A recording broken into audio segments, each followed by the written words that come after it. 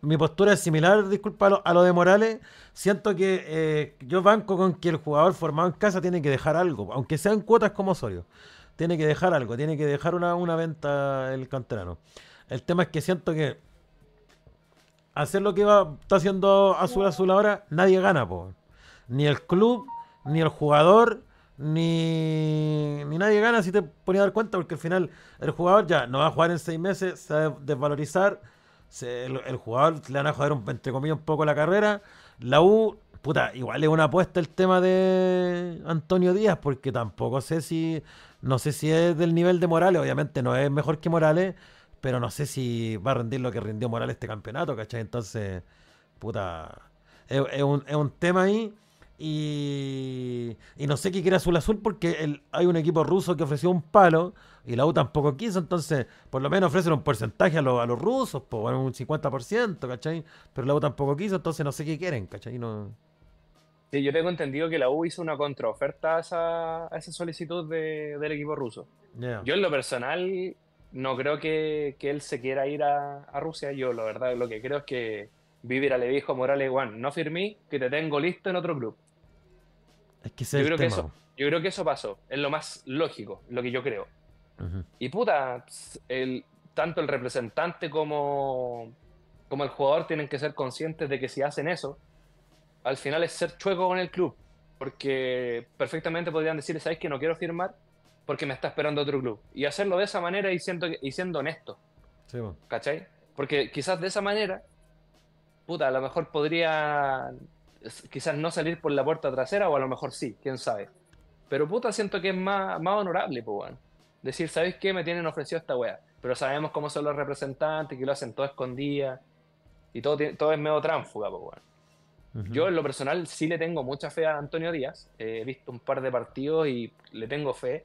Quizás no está en este momento al mismo nivel de Morales, pero siento que encajaría bien en el equipo y, y le, va, le, le va a andar bien a la U. Y no es tan mayor tampoco. Puta, no me acuerdo qué, qué edad tiene. Va a, 24, jugar, 24. va a jugar con ese mismo dorsal, 24 Sí, sí. también. Sí, sí, sí. Así que bien. Lo que en verdad me preocupa es que estamos a menos de una semana, bueno, una semana de que empiece la, la segunda rueda y no ha llegado nadie más. No, no, no, no. Es que- ¿Cachai? eh, hay gente que dice que tiene que, que llegar Morales, o sea, tiene, tiene que, tienen que vender a Morales para comprar jugadores. Esa buena encuentro totalmente estúpida porque yo el otro día en el programa que te mandé, que participamos con Tío Lalo, Jaime y estaba Aleniza, creadores de contenido, eh, yo sacaba más o menos cálculos y para el precio que vende la bola de entradas, que es carísimo, la U quizás debe estar cortando como un millón de dólares por partido quizás, ¿cachai? Puta, si es que nomás con lo que da TNT, las entradas, ¿cachai? Y- Y, y, puta, ¿cuántos partidos de local habremos jugado? Uno ocho, ¿cachai? Entonces, que, que no haya plata lo encuentro, weón, una tontera, pues, ¿cachai? Es insólito, es insólito. O sea, ese cuento te la creo si fuera Audax, si fuera ahí Cobresal o la Unión Española. Sí, pues. Pero nosotros tenemos la entrada más cara y hemos tenido, bueno, estadio lleno. ¿Cuántas fechas? Se jugó a estadio lleno contra Ñublense. Eran 42 mil y tantos cuando Sí, po. con Ñublense. Fueron 45 mil contra Católica. Fueron 40 mil contra Coquimbo. O sea, ¿de dónde sale esto de, de que no hay plata? Si se está pagando una montonera de plata por, por bueno, la entrada más cara, 80 lucas. No, una locura, 80 locos. Una lo- 80, lu- 80 lucas, viejo. Yo digo, ¿dónde? ¿Dónde 80 lucas? ¿Qué? ¿La Copa América final Es, de es la que sé por qué se aprovechan, sé por qué se aprovechan o no. Porque la Porque la gente de gente la la termina pagando igual, po. ¿Cachai? Ese es el problema, po. ¿Cachai? No digo que la gente no vaya al estadio, no es la manera, ¿cachai? Yo me acuerdo que yo, yo fui toda la época de KHS, ¿cachai? Y, bueno, iban 15 mil, 20 mil, ¿cachai? Y la entrada igual cara, yo me acuerdo que lo, lo más, lo más que hacían era que entraran los niños a veces y las mujeres gratis, pero era una a las mil esa huevo. Sí, Imagínate, aún así, por ejemplo, cuando la U estaba jugando, el- eh, se estaba peleando el descenso del 2019, cuando jugamos contra Iquique, e hicieron el, el 2 por 1 no sé si te acordás. Ujú.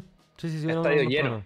Estadio lleno, si viejo, bájale la entrada y te llenamos el estadio siempre. Si, si, si- con entradas carísimas se llena, imagínate, bueno, no puede ser que un partido contra San Antonio cueste lo mismo que un partido contra Católica o contra la Contra.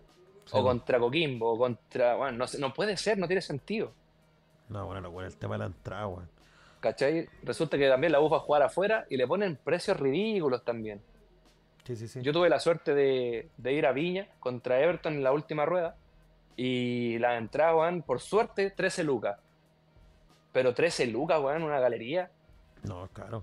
Y lo otro que es que si se viera reflejado en, la- en los gastos del club, ¿cachai? Banco, si, si trajeran jugadores puta Sí. De jerarquía, ¿cachai? Lo, lo mismo que estamos hablando, un, un defensa, no sé, pues zurdo, perfil zurdo bueno, un mixto bueno, puta un 9 que yo banco mucho al Chorri, pero yo creo que 9, 9, 9 nos falta uno hace ratito. Porque Pons no dio la talla al Lobo. Puta, Pons, siento que es difícil igual juzgarlo tanto porque no ha tenido las posibilidades que ha tenido el Chorri. Siento Pa- yo. Partió como titular igual el primer partido, ¿cachai? Yo creo que si no, si no se le dio fue culpa del parte. Fue la expulsión, po. La expulsión también. Y me encima tuvo mala cueva porque entró el Chorri y hizo tremendo golazo, ¿te acordás? Sí, po. ¿No? Y el Chorri ha tenido esa racha, weón, que parte el campeonato y tiene un par de goles importantes. Después no hace Después se va nada. apagando, apagando, apagando. Y cuando Cumple va a terminar el campeonato, empieza a hacer goles de nuevo. Cumple su Sí, cuota de goles, su cuota de goles del año y ya. Sí. Y el tema de Pons, por ejemplo, los goles que se ha perdido Pons son de cabeza. Sí, po.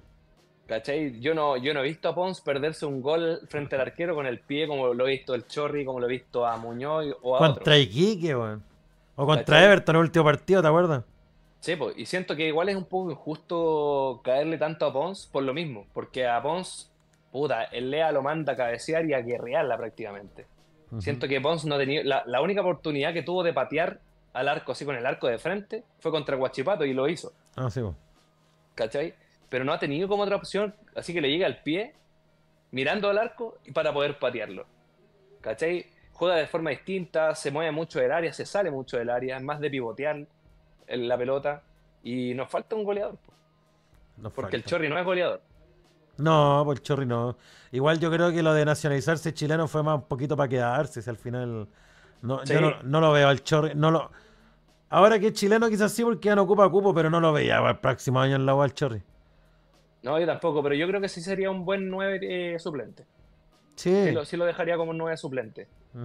Pero a, a la U le hace falta un goleador. El problema es que no es, no es la posición principal a, a reforzar. Si de hecho las posiciones iniciales era el central y el mixto y ninguno ha llegado.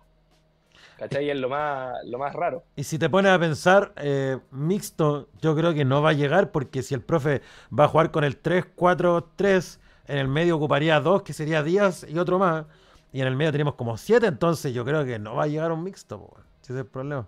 Puta, yo creo que sí, weón. Yo creo que sí. Oja- sí. O sea, ojalá, pues por mi parte, ojalá. Es que mira, cuando tú veis jugar a la U, eh, ti- tiene dos estilos distintos. Cuando la U eh, se enfrenta a rivales que, que se repliegan atrás, lo que hace la U es pasar a un ataque no tan lateral, sino que más frontal. Y ahí entra con Lucas Asai. Pero cuando hay equipos que te atacan, la U juega de forma más directa y por las bandas.